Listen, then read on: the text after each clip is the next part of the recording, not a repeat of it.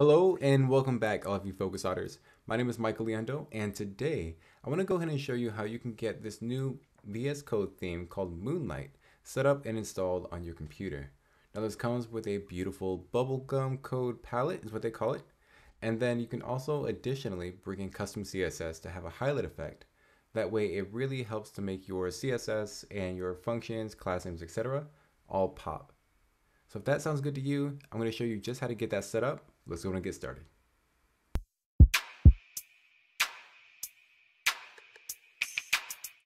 Okay, so let's go ahead and kick this off by first just talking about the project that we're in. This is just scaffolded with Create React App, and I'm just doing that so that we have some code up on the screen to showcase what we're going to be highlighting and changing around today. From here, I'm going to open up my extensions panel, and a shortcut for doing this is going to be Command Shift X. That'll go ahead and pop that up for us and I'm going to type in Moonlight. Now there is a version 1 and a version 2. As you can see, there's a couple other themes in here with the name Moonlight, but you're going to be looking for the one right here, this Moonlight VS Code theme with bubblegum colors. I'm going to install that, and you can see that actually gets us pretty far in how our application looks. Now, as I mentioned before, there's a couple different versions of this Moonlight theme, and I'm specifically partial to the Moonlight uh, italic theme, this Moonlight 2 italic. So I'm going to select that one. And if we look back into the code, it's already looking a lot better. But from the theme itself, you can see that there is the option to have some highlighted code along the way. And I really love this effect. So to enable that, if we scroll down here, it's going to give us a CSS that we can work with right here. So I'm actually going to copy that. And we want to go ahead and use a custom CSS extension to bring this code in. And that extension is called custom CSS. So back in the extensions pane, I'm going to type in custom. And it's this one right up top, custom CSS and JS loader. So I'm going to select this one. And I have it turned off right now, but I can go ahead and install it and then you'll be caught up right back up with me. And from here, we're good to go we just have to copy and paste that CSS somewhere. And that somewhere is going to be in our terminal. Remember thinking that's weird, right? Go ahead and put it in our terminal. But that's really just because we want to reference a file with this custom CSS and JS loader extension. So what I'll do is I'll say we want to echo.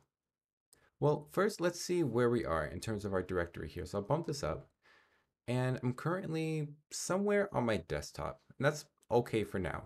But for you, you probably want to put this somewhere like in your documents folder or somewhere secure that you're not going to accidentally delete later on. So we'll say echo, and then I'll paste in that CSS. Note I have the quotes around here.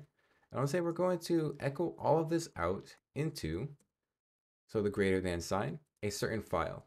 And that'll be tilde and for me, I really like to have miscellaneous files inside of my documents folder. So inside of this documents folder, I will say something meaningful like moonlight.css, just like that. I'll hit enter here, and I just went ahead and created that file and inserted that CSS into there. Now, if you're wondering how I got to the terminal, on a Mac, I went ahead and pressed Control, and then it's the backtick. So top left corner next to the tilde, and that'll toggle your terminal. Now we have our CSS, we have the extension installed, and we have a way to tie the two together via this custom CSS loader extension. But how do we actually reference it? Well, if we scroll down from here, I'm going to bump down the size just a little bit and get rid of this pane. It'll give us the actual extension that we need to be using or, or the actual file string. So if you're on a Windows, this is going to be what you reference. Note that you probably want to change this accordingly depending on where you save the file.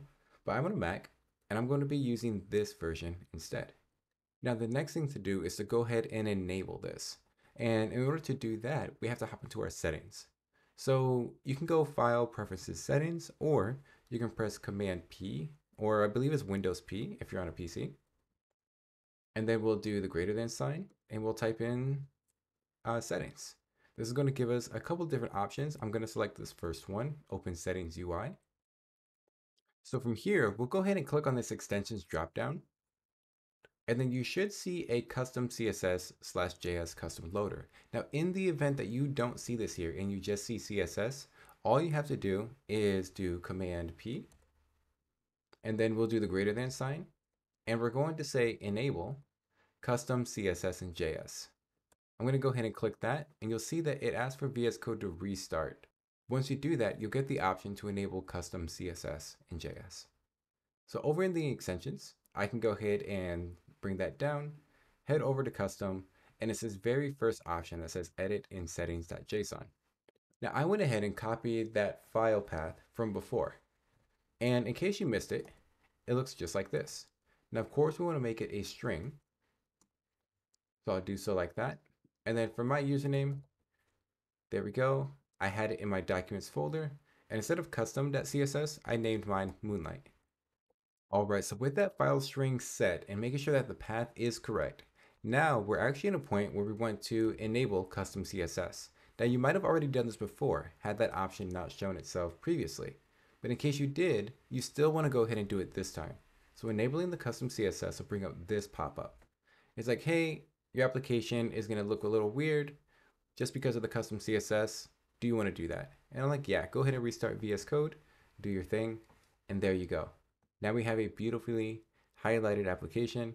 If I go over to my app.js, I get a highlight on my app. But I think it's really cool when you open up CSS because you get this nice moonlight background. All right, and there you go. If you like this video, go ahead and leave a like and a subscribe. And if you want to see more content like this, go ahead and let me know down in the comments down below. As always, thanks again. I'll catch you all next time. Peace out, Focus Otters.